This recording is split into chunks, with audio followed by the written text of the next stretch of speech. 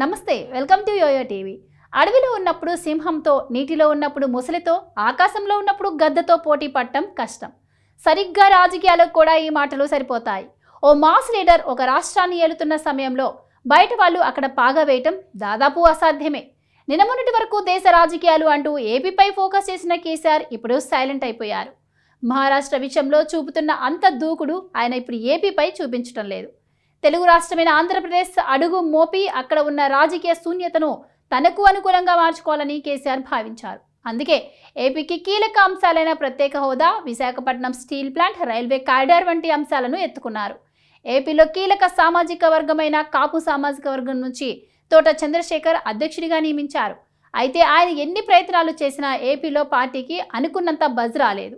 కనీసం మహారాష్ట్రలో పార్టీలోకి వచ్చిన వలసల స్థాయిలో కూడా ఆంధ్రప్రదేశ్లో ఆ పార్టీకి ఆదరణ దక్కలేదు. జేడి లక్ష్మీనారాయణ లాంటి కీలక నేత పార్టీలో చేరతారని వార్తలు వచ్చి ఆ దిశగా పరిణామాలు జరిగినప్పటికీ కూడా ఆయన ఎందుకో వెనక్కి తగ్గారు. ఇలాంటి సమయంలో తమకున్న తక్కువ సమయాన్ని వనరులను ఆంధ్రప్రదేశ్పై కేంద్రీకరించడం వల్ల ఎలాంటి ఉపయోగం లేదని భావించిన గులాబీ బాస్ ఏపీ విషయంలో వెనక్కి తగ్గినట్టు కనిపిస్తోంది. ఇక ఇటీవల రాష్ట్ర ఎన్నికల కమిషన్ విడుదల చేసిన పార్టీ జాబితాలో బారాసా పార్టీకి స్థానము దక్కలేదు. ఏదైనా ఒక పార్టీ ఒక రాష్ట్ర ఎన్నికల్లో పోటీ చేయాలంటే తప్పనిసరిగా ఆ రాష్ట్ర ఎన్నికల కమిషన్ వద్ద నమోదు చేసుకోవాల్సి ఉంటుంది. బీఆర్ఎస్ కనీసం పార్టీ నమోదు చేసుకోలేదు అంటే ఆంధ్రప్రదేశ్ వ్యవహారాల పట్ల వారికి అంత ఆసక్తి లేనట్లుగానే ప్రచారం అవుతోంది. తెలంగాణలో ఎన్నికలకు తక్కువ సమయం ఉండడంతో కేసీఆర్ ఆంధ్రప్రదేశ్పై ఫోకస్ తగ్గించారని ప్రచారం జరుగుతోంది.